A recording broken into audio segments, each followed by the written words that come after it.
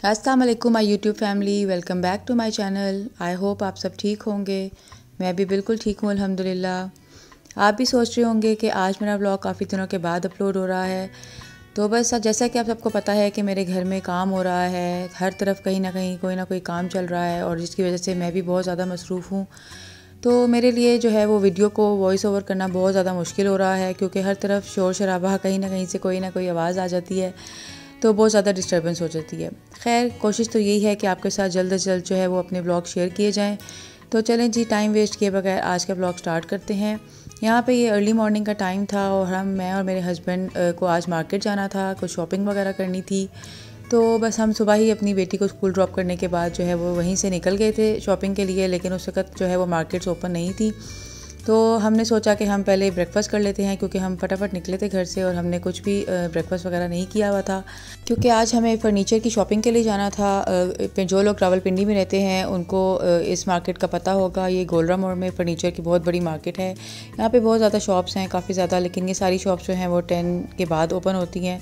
तो बस हमने भी जो है वो ब्रेकफास्ट वगैरह किया और फिर हम इस मार्केट में आ गए और आज हमारा प्लान था कि हम तमाम शॉप्स को जो है वो विज़िट करेंगे क्योंकि हमें अपने ड्राइंग रूम वगैरह के लिए सोफ़ाज़ वगैरह की सिलेक्शन करनी थी। तो बस यहाँ पे हम तमाम शॉप्स को विज़िट कर रहे थे और एक आपको मज़े की बात बताऊँ कि कुछ शॉप्स शॉपकीपर जो हैं वो वीडियो बनाना अलाउ ही नहीं कर रहे थे। Uh, मैं जैसे ही मोबाइल निकालती थी तो वो साथ ही मुझे मना कर देते थे। तो मैं शुरू में तो बहुत एम्बेरस हो रही थी लेकिन इसके बाद मैंने जहाँ जहाँ पे भी वीडियो बनाई है ये सब मैंने शॉपकीपर्स जो ओनर्स हैं उनकी परमिशन के साथ बनाई है। तो बस यहाँ पे आ, हम एक्चुअली एल शेप्ड सोफ़ा देख रहे थे क्योंकि मेरा मूड था कि मैं एल शेप सोफ़ा अपने ड्राइंग रूम में सेट करूँ। लेकिन वही बात है जब आप मार्केट को विज़िट करते हैं तो बहुत सारे न्यू डिज़ाइन आपकी नज़र से गुजरते हैं।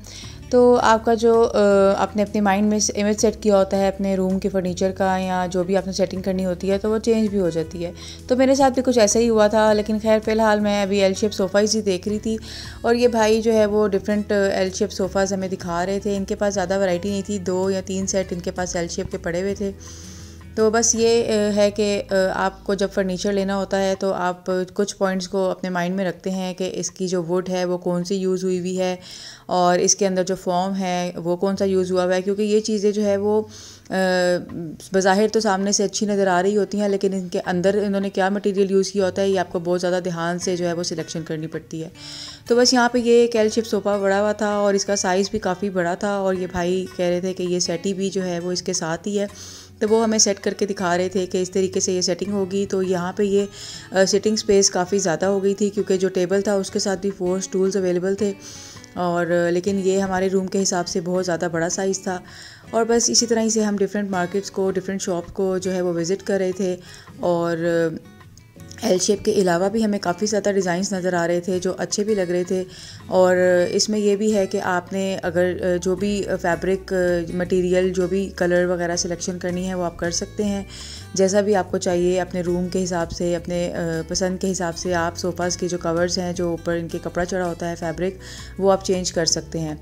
तो बस मैं भी यहाँ पे डिफरेंट चीज़ों को देख रही थी और इनमें से कोई चीज़ें अच्छी लग रही थी और कुछ चीज़ें बिल्कुल भी अच्छी नहीं लग रही थी। खैर, हर इंसान की अपनी अपनी चॉइस होती है, लेकिन एक बात है कि जब भी आप फर्नीचर ख़रीदें तो हमेशा अपने रूम के साइज़ को अपने माइंड में रखें, क्योंकि बाद दफ़ा ऐसा होता है कि रूम्स बहुत ज़्यादा छोटे होते हैं और उसके अंदर बहुत बड़े साइज़ का फर्नीचर बिल्कुल भी अच्छा नहीं लगता। तो अगर आपके रूम्स बहुत बड़े बड़े हैं तो उसके अंदर बहुत बिग साइज़ का जो फर्नीचर होता है, वो अच्छा लगता है। इवन बेडरूम्स के जो सेट हैं, वो भी जब आपका रूम अच्छा खासा बड़ा हो तो उसमें बड़े साइज़ का बेड जो है, वो पड़ा हुआ खूबसूरत भी लगता है। तो बस अपने रूम के साइज़ को मद्देनज़र रखते हुए ही हमें फ़र्नीचर की शॉपिंग करनी चाहिए। और यहाँ पे एक और शॉप में जो है वो हम विज़िट कर रहे थे, और इनके पास भी एल शेप सोफ़ास पड़े हुए थे। और आजकल ये गोल्डन कलर की जो स्ट्रिप्स हैं, इनका बड़ा ट्रेंड हुआ हुआ है। ये मुझे काफ़ी जगह पर नज़र आ रही थी। लेकिन मैं पर्सनली जो है वो सिंपल और डिसेंट चीज़ों की तरफ़ जाती हूँ। मेरे माइंड में हमेशा ये चीज़ होती है कि जो भी चीज़ आप बाय करें, वो मॉडर्न लुक भी दे कंफर्टेबल भी हो और ड्यूरेबल भी हो। और सबसे मेन चीज़ कि उसकी सफ़ाई जो है वो बहुत आसानी से हो जाए। क्योंकि जब ये चीज़ें गंदी हो जाती हैं तो वो बिल्कुल भी अच्छी नहीं लगती हैं। तो बस यहाँ पे भी हम एक और शोरूम में आ गए थे और यहाँ पे भी हम डिफरेंट टेल शेप सोफ़ास देख रहे थे और इनका ये जो बटन वाला डिज़ाइन था ये मुझे बिल्कुल अच्छा नहीं लगता क्योंकि जब इनके अंदर डस्ट वगैरह चली जाती है या बच्चे जो हैं वो खाते पीते कोई ना कोई चीज़ गिरा देते हैं तो जब इनकी क्लिनिंग नहीं होती है तो वो बहुत ज़्यादा बुरे लगते हैं। अच्छा आपको मेरे पीछे ये जो शोर सुनाई दे रहा है ना, आपने इसको प्लीज़ इग्नोर करना है।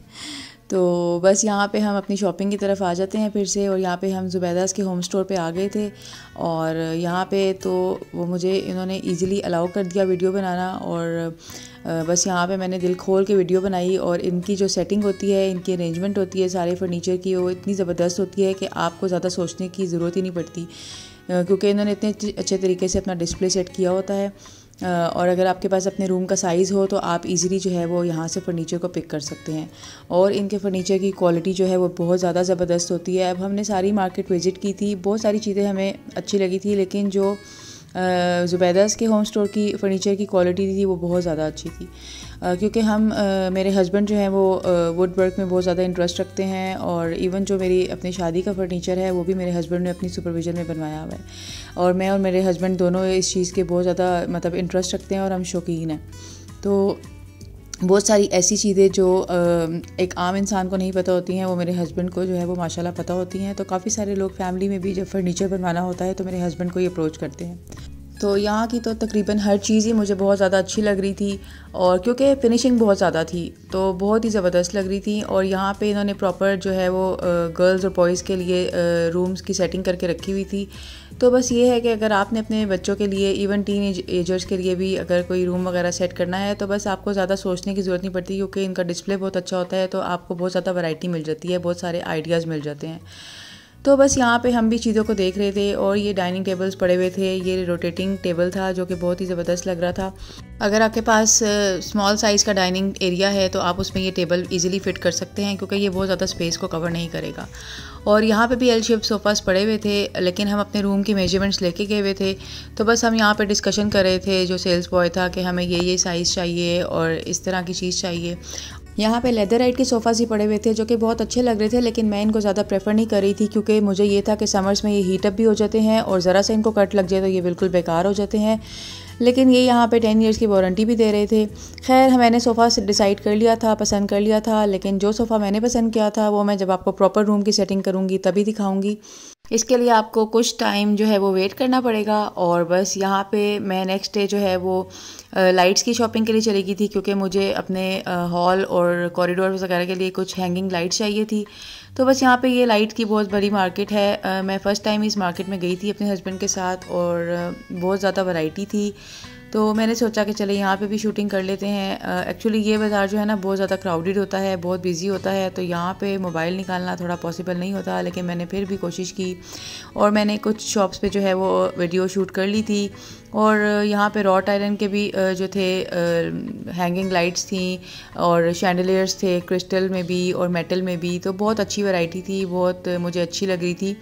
मैं अपने घर से माइंड में कोई और चीज़ें अपने डिज़ाइन सोच के गई थी, लेकिन जब मैं इस मार्केट में गई तो मुझे बहुत ज़्यादा डिज़ाइन और बहुत ज़्यादा वैरायटी नज़र आई। तो मैंने यहाँ से भी जो है जो जो चीज़ें मुझे चाहिए थी जिस जिस जगह के लिए मैं वो सब बाय कर चुकी थी, लेकिन वो मैं अभी आपको नहीं दिखाऊँगी, क्योंकि अभी हमने उनको हैंग नहीं किया हुआ, और जब मैं उनको हैंग करूँगी तो फिर इन मैं आपके साथ ज़रूर उसको भी शेयर करूँगी। तो फ़िलहाल जो है आप यहाँ पर ही मेरे साथ जो है विंडो शॉपिंग करें। इनके पास तकरीबन हर तरह की वैरायटी थी। हैंगिंग लाइट्स के अलावा वॉल लाइट्स डोर लाइट्स हर तरह की इनके पास वैरायटी थी। डिफरेंट डिज़ाइंस थे। Uh, कुछ वुडन भी थे कुछ मेटल के थे कुछ क्रिस्टल्स के थे कुछ रॉट आयरन के थे।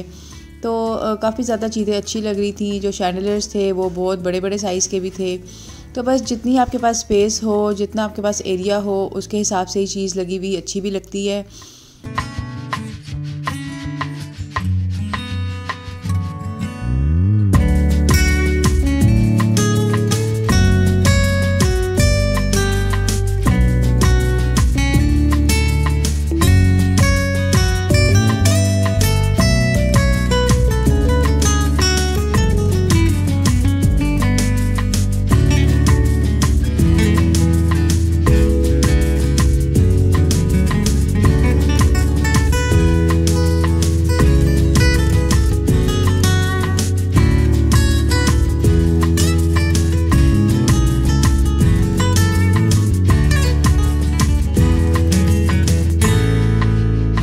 इस मार्केट से हम फ्री हो गए थे, लेकिन अभी थोड़ा सा टाइम था तो मैंने सोचा कि मैं वॉल क्लॉक्स भी देख लेती हूँ। तो थोड़ा सा आगे ही वॉल क्लॉक की भी मार्केट है तो मैं वहाँ पे चली गई। और यहाँ पे भी हमने काफ़ी सारी शॉप्स विज़िट की, लेकिन हमें कोई भी क्लॉक्स अच्छी नहीं लग रही थी जिस टाइप की मुझे चाहिए थी। तो बस मैं यहाँ पे आपके साथ भी डिफरेंट जो वैरायटी है, वो शेयर करती हूँ। डिफरेंट साइज़ की डिफरेंट मटेरियल की, ज़्यादा प्लास्टिक ही था क्योंकि जो प्लास्टिक है वो प्राइस में भी ज़रा रीज़नेबल होता है और आजकल चल भी वही रहा है डिफरेंट डिज़ाइन होते हैं तो आपको फ़ील नहीं होता कि ये चीज़ प्लास्टिक में ही बनी हुई है। तो बस हर शॉप पे डिफरेंट डिज़ाइंस थे डिफरेंट वैरायटी थी और डिफरेंट साइजेस थे तो बस और सबकी प्राइसेस जो है वो भी डिफरेंट थी। और जो सबसे लीस्ट प्राइस थी वो टू थाउज़ेंड थी और उसके बाद जो इंक्रीज़ करके वो सेवन एट थाउज़ेंड तक भी जा रही थी और कुछ इससे भी ज़्यादा एक्सपेंसिव थी।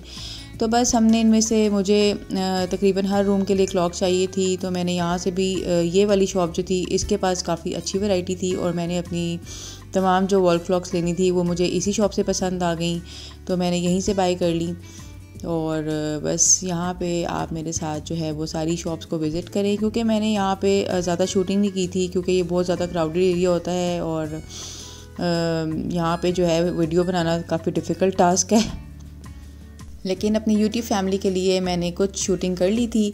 और बस यहाँ से फ्री होने के बाद जो है वो अब हम घर आ गए थे और ये उससे नेक्स्ट डे का ब्लॉग है और बाहर के कामों के साथ साथ घर में भी काम स्टार्ट हुए हुए थे।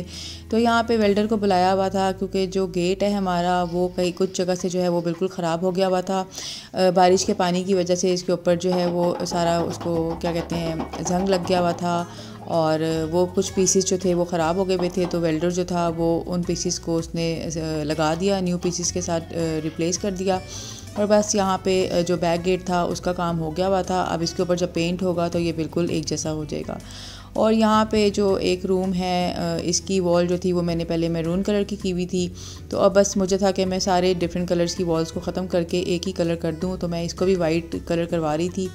और बस अब पूरे घर में जो है ना, कोई भी कलर्ड वॉल नहीं होगी। जिस, जहाँ जहाँ पे इवन मेरे अपने बेडरूम में भी एक कलर्ड वॉल थी लेकिन मैं उसको भी ख़त्म करवा दूँगी जब मेरे रूम की टर्न आएगी। और बस यही था मेरा आज का ब्लॉग आई होप मेरी आज की वीडियो आपको बहुत पसंद आई हो. अपना ख्याल रखिएगा. अल्लाह हाफिज़.